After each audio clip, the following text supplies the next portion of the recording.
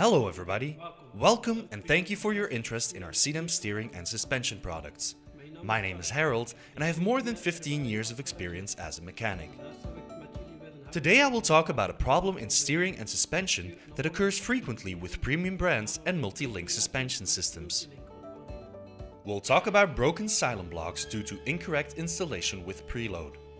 A silent block that is being installed in the wrong way, meaning the parts are not tightened at the right moment or with the right torque, results in an installation with preload. You should avoid this because preload will lead to a silent block getting prematurely and completely worn out. How can you check the car to see if the silent block has been affected because of preload? This is not easy to see, but here on the lower track control arm for instance, you will see that the silent block rubber is turned in a certain angle, which will lead to rupture and failure of the part. This is an example of a silent block where preload caused failure of the part. The silent block got twisted and the rubber ruptured. As a result, the part will break and the track control arm in which it is mounted will no longer perform as it should. Now, let's go over the steps on how to replace the track control arm with the silent block in the correct way. Firstly, lift the car until the wheels come fully off the ground. Now loosen the nuts and remove the wheel. It makes replacing the track control arm easier when you have more room to move around in with the parts. First loosen the tie rod end and remove the part. Now loosen the nut of the ball joint and detach the part.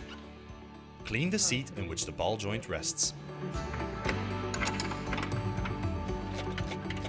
Remove the bolt of the silent block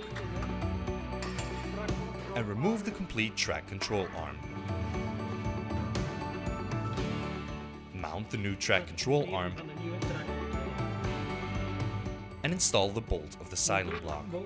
When installing the bolt and the nut, make sure not to tighten it too much. Tighten it only slightly to avoid preload. Mount the track control arm in the right position and make sure that the ball joint fits in its place.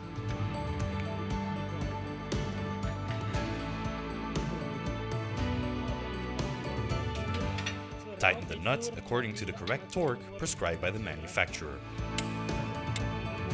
Put the tie rod end back and tighten the nut according to the prescribed torque. Now mount the wheel.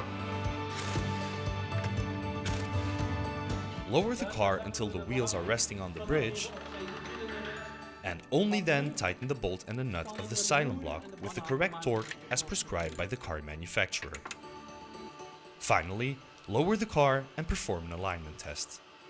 Important to know when you replace a worn out silent block is firstly to install the new part in the correct way without preload.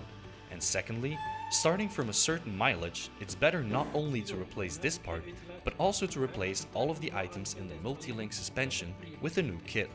Seeing one part is worn out, the rest of the items will most likely also have had the same effect of wear and tear. For more information, please visit the Sidem website www.sidem.eu. Thank you for watching and see you next time.